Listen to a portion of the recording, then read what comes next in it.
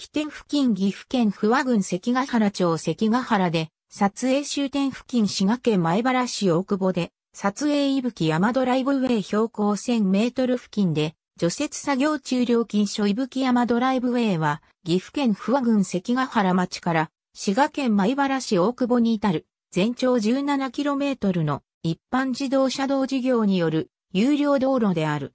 1965年7月に全線開業し、現在に至っている。西に、琵琶湖、東に、関ヶ原を見下ろす滋賀県下最高峰の日本百名山の一つである、伊吹山の9合目までを登る観光有料道路。名神高速道路の関ヶ原インターチェンジから国道365号を長浜方面に向かって約 3km のところに入り口がある。ここから南斜面を県境沿いに伊吹山9合目付近にあるスカイテラス駐車場まで駆け上がる。全長は約 17km で通り抜けはできない。最終地点の約600台の駐車場には2013年4月にリニューアルオープンしたレストハウスのスカイテラス、伊吹山や連母観音像、トイレがある。伊吹山ドライブウェイでは開業以来、高山植物や紅葉等の四季折々の草花を鑑賞するほか、滋賀県、岐阜県を一望に見下ろす大パノラマを見るために大勢の利用者が訪れ、2005年度は約8万4千台の車両、約30万人に達している。2006年3月28日からは、オーストラリアの投資銀行、マッコーリー銀行が設立した日本自動車道株式会社が、近畿日本鉄道株式会社及び名阪、近鉄バス株式会社より、資産、営業譲渡を受け、本ドライブウェイの運営を行っている。伊吹さんは昭和30年代初頭から大見鉄道により開発されてきたが、名神高速道路着工の見通しが立ったところから自動車による登山の企画が持ち上がった。1961年10月に名古屋近鉄バスによって着工し、工事は順調に進んで1964年に一部開通、1965年に全線開通した。もともとから大見鉄道による開発が進んだ西側の斜面にもドライブウェイの建設を地元が要請したが実現されていない。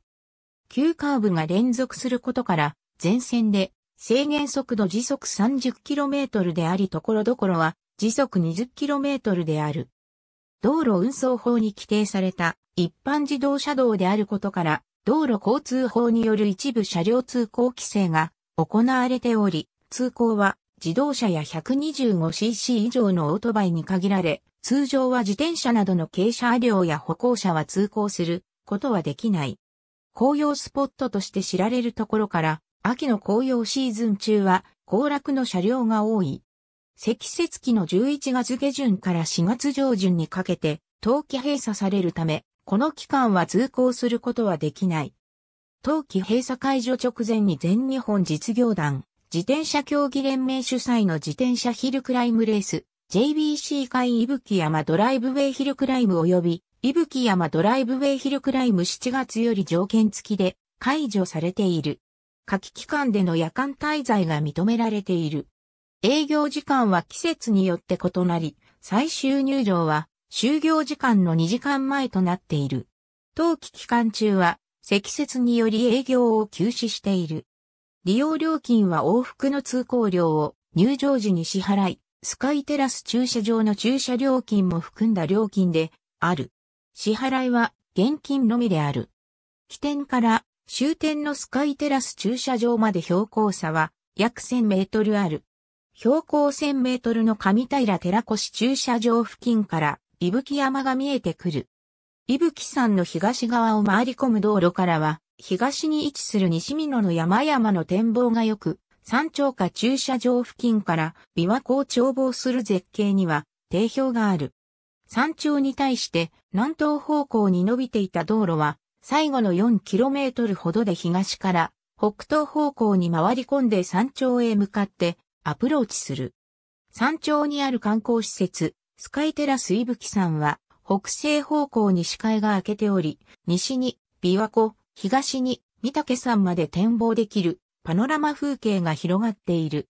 スカイテラス内にはお土産コーナーと飲食、喫茶コーナーが併設されている。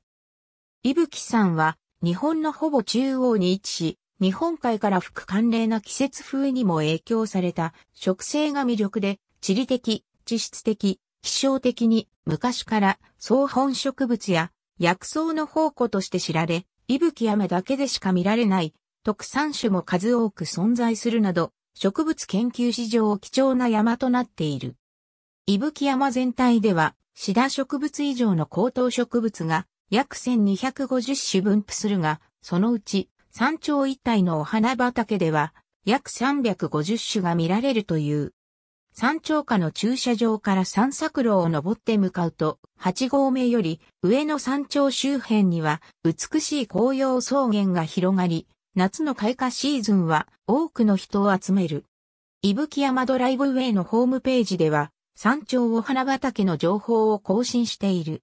運転者の年齢が満20歳以上、かつ自動二輪車の免許を受けていた期間が通算3年以上であること。ありがとうございます。